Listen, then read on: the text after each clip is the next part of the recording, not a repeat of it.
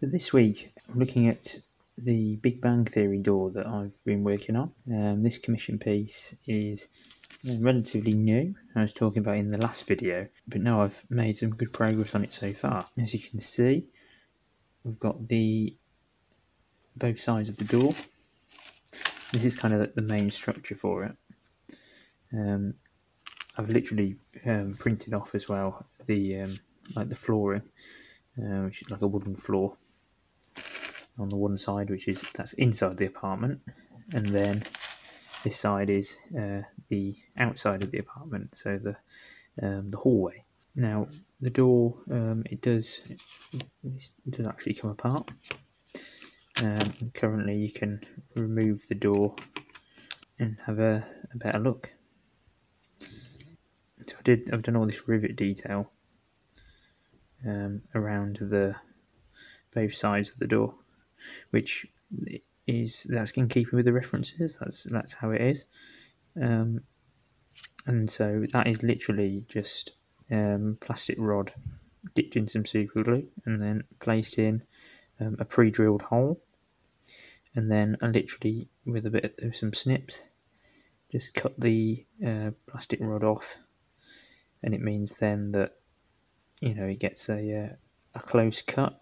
You know, doesn't get rid of it all, but um, just enough to kind of leave the rivet out, um, and then I can take the uh, Dremel over there, the, uh, the, the rotary blade, and um, you know sand them down if I want to. The uh, handle detail that's been quite a, a nice little little piece that I've done on both sides. That was literally just um, taking a piece of plastic rod and um, and getting the the cutter on the Dremel, the uh, the wheel, and uh, it's just scoring a, a line um, around it uh, to make like a little indent, and then it's a case of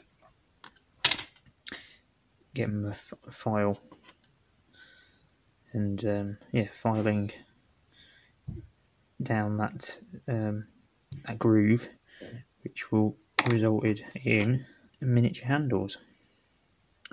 So yeah, so I've just created the uh, kind of base for the handles as well, so that um, you know it's got something to sit on, and um, and then there's like kind of like this lock, um, I suppose above. I'm not quite sure what it is actually on the references, but um, it's a detail that I've tried to do. I'm probably going to sand those little rivets down a little bit more, but but yeah, I'm really pleased with that, and it's all built on um, some like five millimeter thick clear acrylic. Gives a little bit of thickness, a little bit of weight to the door. So yeah, I've um, just started to add this uh, like black surround to the um, base of the um, the piece, just to kind of help with the look of things.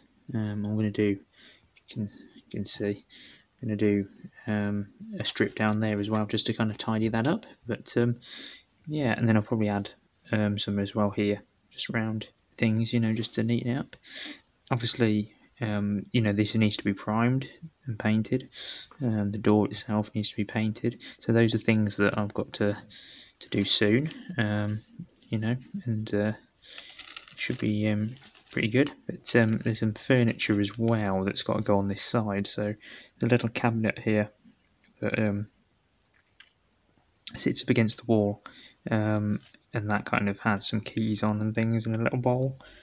So that's quite a nice little detail to to be able to do. There's also a dartboard on the back of the door, which you can see in the references. Actually, I might as well just show you. Um, so that's really, really quite a nice little detail to do. Um, yeah, and so this side, um, there isn't too much actually.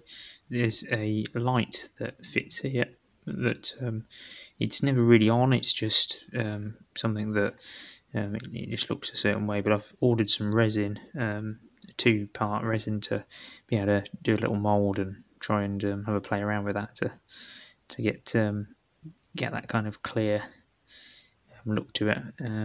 but yeah, generally, you know, so far this is where we're at. But